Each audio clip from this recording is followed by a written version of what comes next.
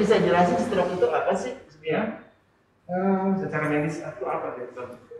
ya saya ngambil definisi yang terakhir ya. Memang stroke itu adalah suatu kumpulan gejala yang disebabkan oleh karena gangguan fungsi yang akut baik itu apa vokal maupun global yang disebabkan karena berkurangnya aliran darah ke otak atau terputusnya aliran darah ke otak itu aja ya Simpelnya seperti itu ya. itu terutama eh, aliran darah ke otak yang menuju ke otak dan yang baru ini adalah ke retina mata dan medula spinalis.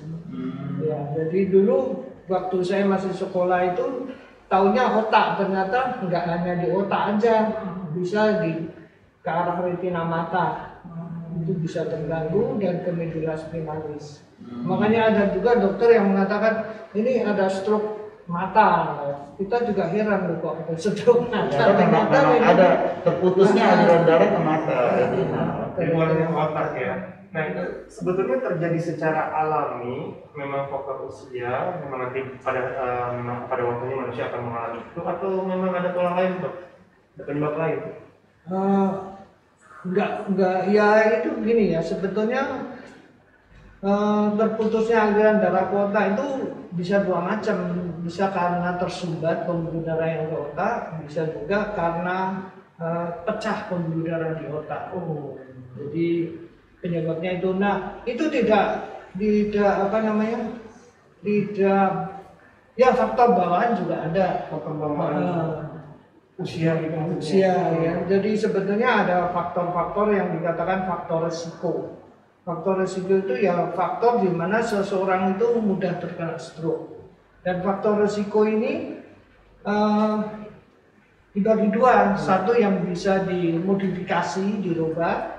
Itu misalnya kebiasaan. eh, yang ya salah satu kebiasaan yang eh, salah ya kebiasaan pola hidup yang Pola hidup keliru. yang tidak baik. Dan yang nggak bisa diubah itu ya tadi seperti usia, ras, eh, jenis kelamin itu Jadi orang usianya yang perkiraan gitu dok, eh, 40 ke atas, 50 gitu, eh, resikonya tinggi untuk terkena stroke Iya. atau bagaimana? ya memang makin tua makin mudah seseorang itu terkena stroke.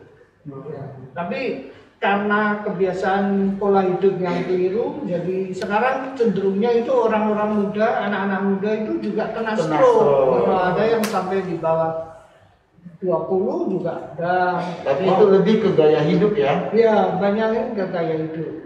Oh, jadi eh, selain Selain- memang eh, faktor usia, ternyata transcitizen dan skandis all, eh, serta EMC couple penyebab stroke itu selain usia memang waktunya dan juga pola hidup. Bahkan di umur 20 tahun ke bawah tadi ada dokter. Iya, iya. Itu sangat mem- memprihatinkan banget ya maksudnya kan waktu umur usia muda seperti itu kan harusnya Produktif. produktif gitu. Iya, ceria-cerianya. Iya, cuma sayangnya malah ada yang kena gitu. Selain eh, pro- apa usia yang muda itu, artinya keturunan juga bisa ya dok ya. Iya. Dok, nah kalau misalkan faktor keturunan itu bisa kenalnya pada saat usia berapa tuh dok? Oh, nggak ada. Nggak pada nggak ada patokan seperti itu ya. ya. Hmm, Cuman berarti harus lebih dijaga lagi protokol yang lebih hebat ya. Waduh, luar biasa nih. Iya, terus gejalanya apa sih? Orang kena stroke itu oh, ada tanda-tanda gitu atau Iya, gimana? gejalanya biasanya begini, eh, ada gejala-gejala kelainan vokal di Oh, otak. ngo- ngomongnya mulai Nah, mulai misalnya lumpuh. Nggak jelas ya? Eh, pertama kali biasanya ini kebanyakan lumpuh, lemes separuh badan. Hmm. Baru bisa separuh badan, bisa dua-dua kanan kiri, bisa se, se apa satu satu sisi aja. Hmm. Juga eh, bisa mati rasa separuh badan. Jadi mati rasanya itu ya sampai di wajah, sampai di Oh, badan. Jadi benar-benar separuh gitu ya, lumpuh. Makanya itu sering orang bibirnya miring ya Mas? Iya. Nah, yang- gitu ya. lain nanti kena di saraf pajang jadi anu apa bibirnya mencong Ah, miring itu memang jadi ya? se- juga bisa kena ini saraf di lidah Lidah. Iya, eh, jadi bicaranya itu nggak jelas pelo Hmm. Jadi kalau dia nyebut R itu jadi eh, eh, itu. Nah, jika sudah pasien seperti itu, langkah apa yang harus dilakukan dok? Apakah ada tindakan khusus operasi yang memungkinkan bisa sembuh total atau bagaimana? Eh, nggak selalu harus operasi ya. Sebetulnya kalau ada langkah begitu, sebaiknya eh, seseorang itu harus ke periksa ke dokter ke rumah sakit. Itu lebih awal lebih bagus. Iya, seperti kayak kita di EMC ini ada CT scan ya dok, ya. Ya, CT scan itu nanti lebih- kalau lebih- sudah sampai di rumah sakit dilakukan CT scan scan. sehingga bisa lebih lebih lebih jelas lagi dok diagnosanya maksudnya. lebih pasti ya, gitu ya. Oke. Nanti kalau dia di rumah sakit akan dievaluasi, terus dicek eh, faktor-faktor resikonya, misalnya periksa darah, kolesterol, dilengkapi semua. Jadi pada saat pasien sudah mengalami eh, cacat sebelah atau mulut yang hitam kayak gitu, jadi belum tentu harus dioperasi ya dok ya? Enggak, belum Jadi berarti. di diagnosa dulu, Diagnosa, nanti diperiksa CT scan, scan, nah, baru berikutnya ketahuan. ketahuan Eh, eh, itu perdarahan atau penyumbatan. Nah, pendarahan atau penyumbatan. Ketika sudah ketahuan nih, oh ternyata penyumbatan nih. Langkah berikutnya di Ya, ya begini, sebetulnya eh, pengobatan terakhir ini dengan cara ini trombolisisnya di trombusnya sumbatannya itu dilisiskan, dicairkan, dibuka. Tapi itu syaratnya ketat sekali. Jadi tidak semua orang, Orang bisa melakukan dilakukan itu ya. Bisa. Cuma anu itu juga mungkin perlu persiapan dari anu ya rumah sakit ya, yang Hmm. khusus untuk dipersiapkan untuk itu. Hmm. Jadi itu harus kurang dari tiga jam. Oh, se- Nah, kena serangan sekarang- stroke sebelum Nah, tiga jam ya, di bawah tiga jam. Apa? Ya paling lambat 6 jam lah. 6 jam ke bawah itu sudah harus sudah harus dievaluasi. dievaluasi. Kalau setelah tiga jam atau enam jam itu udah terjadi kerusakan atau gimana? Iya, sudah terjadi. Sudah terlambat juga artinya, sudah terlambat. Wah, ini sangat penting banget nih Iya. buat masyarakat kita. Kadang-kadang kalau yang stroke tuh dirawat dulu di rumah gitu Iya. ya. Nggak langsung- Ditunggu-tunggu dulu Iya, gitu. tunggu. bahkan mungkin nah ini ada kaitannya nih dengan eh, pengobatan tradisional nih Ah. nah kadang-kadang itu gimana dok Pertama- Ada orang suka bawa tuh pengobatan tradisional mungkin dalam herbal Iya, atau iya. apa segala macam diurut kan. Disuruh- Ya kalau kita sebagai dokter ya gimana ya? Nggak nggak kurang kita nggak bisa mempercaya itu. Wong itu prosesnya di otak kok. Diletak ya. Masa dengan herbal itu kan di dunia herbal kan belum ada penelitian untuk Menghancurkan, Eh, membongkar pemyumbatan dan lain sebagainya Iya, gitu ya dok ya.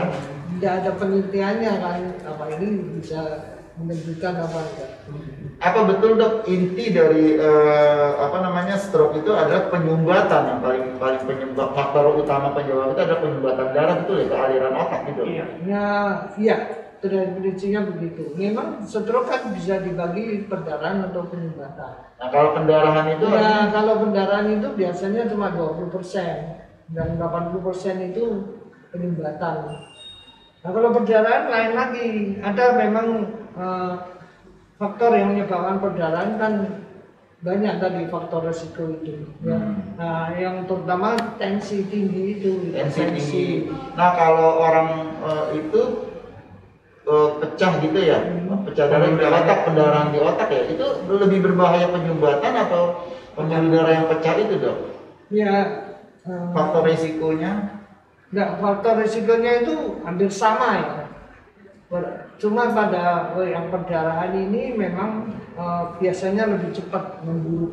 lebih cepat membunuh. Tapi tidak selalu begitu. Oke. Eh, misalnya yang penyumbatan pun juga bisa berbahaya kalau sumbatannya besar terus terjadi pembengkakan sel-sel otak di sekitar yang jaringan yang rusak itu juga bisa menyebabkan koma Hmm. menurun kesadarannya Nah kalau terjadi darah pecah gitu ini di, di, di apa di masyarakat sering terjadi ini seperti pembaca eh, ada netizen nih nanya Iya. nih mas dari Ed Cat- Catherine 8566 ya pengaruh nggak dengan jarum yang ditusuk ke jari waktu kelihatan awal mulai stroke? Tuh, kalau ada seperti itu dok, kan kalau ini suka tertusuk biar darahnya keluar kadang-kadang penyumbatan kan Kuping sini. kuping misalnya. Iya. Terus sering ada cerita di masyarakat kayak gitu tuh dok. Ya, ada broadcast juga masalahnya. Ada ya? Juga gitu kan. Jangan panik jika ada keluarga yang terkena, Ah. teman kerabat yang terkena stroke, langkah Sebagai langkah awal, Oh, tindakan tindakan ketiga-nya lah Iya, istilahnya gitu. Tusuk dulu jarum Hmm. bagian kuping atau jari. Jari, Nah, gimana tuh, Dok? Gimana dok menanggapinya secara medis? Kalau saya sih nggak nggak anu ya nggak percaya masa ditusuk jari nggak nggak ada pengaruhnya sama stroke Nggak ada pengaruhnya. nggak ada pengaruhnya karena itu kan prosesnya dari otak. Mungkin karena masyarakat berpikir penyumbatan darah karena darah tersumbat jadi susah jalan, dibikinin jalan gitu loh dok. Oh, ya? bukan Iya, yang iya. tersumbat di pembuluh darah otak masa ini yang ditusuk. Oh berarti mesti ditusuk dekat sini kali iya, ya? masuk akal ya. Karena memang informasi yang beredar di masyarakat melalui WhatsApp broadcast itu memang kadang-kadang harus kita teliti lagi ya. cek Makanya cek sering-sering konsultasi ke dokter sih. Konsultasi Lebih baik kalau masalah kesehatan kita ke rumah sakit bicara sama dokter Iya. karena lebih tepat. Jangan percaya banget lah gitu kan Iya. sama kayak gitu kan kalau belum ada bukti. Enggak, ya, sebenarnya gitu. yang ini ya kalau kalau ditusuk. memang sudah bicaranya kok cadel anu apa Tangannya ini tangannya lemas mati rasa ya itu cepat-cepat ke rumah Dokter sakit aja. aja, Iya, Iya, ke IGD pasti ditangani Dok, nih ada pertanyaan lagi nih dari netizen nih Mas Kopik nih. Eh, dari Marif Pak Wahyu. Kalau capek, kita suka tekuk pergelangan tangan dan leher. Lama-lama bisa bikin stroke nggak ya dok? Oh, itu apa ya? Kayak gitu cetak-cetak gitu kali ya? Cek cek gitu ya iya. enggak Gini, saya- enggak enggak enggak bisa menyebabkan stroke stroke bukan karena faktor itu Bukan faktor itu ya. Intinya cuma karena penyumbatan atau pecahnya eh, pembuluh darah gitu ya dok? ya? Nah, tapi itu ada hubungannya nggak kalau stroke itu dengan pikiran? Jadi kalau misalnya orang banyak pikiran, Nah, iya tuh. itu ngaruh nggak ke stroke?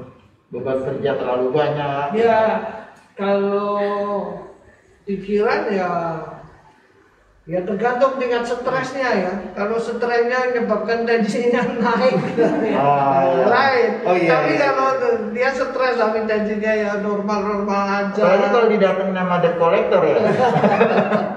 Tolong jangan curhat. Salah ya. Cuma memang di masa pandemi ini kan pasti tingkat daya Iya, beli seseorang itu meningkat drastis kan.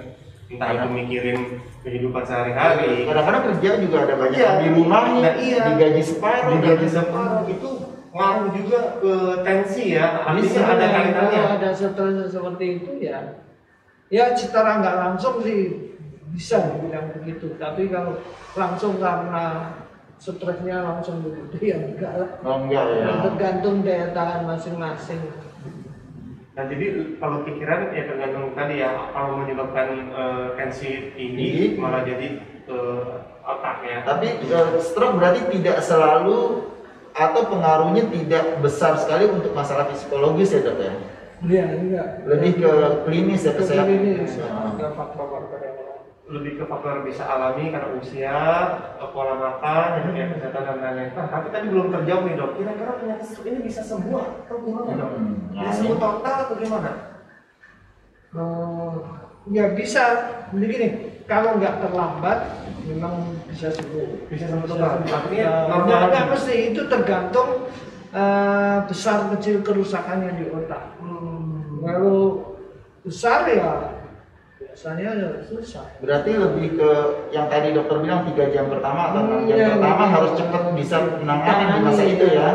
Kalau lewat dari itu agak sulit gitu dok untuk pulih Iya, sempurna. untuk gitu. boleh sempurna sulit.